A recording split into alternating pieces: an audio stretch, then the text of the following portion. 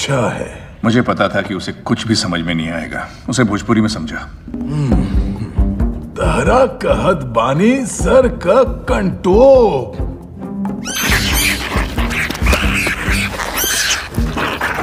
ये छोटा dinosaur helmet लाना है ग्रूट तू क्यों नहीं कोशिश करता? लुल हो गई। ये वोरकर की आँख है। वो सोते वक्त उसे निकाल देता है। जाओ फिर से देखो। पर ये आँख यहीं छोड़ के जा।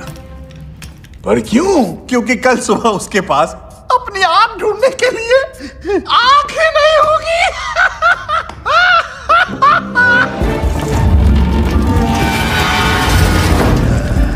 ये एक टेबल है। टेबल और हेलमेट में फ़र्क है बेटा।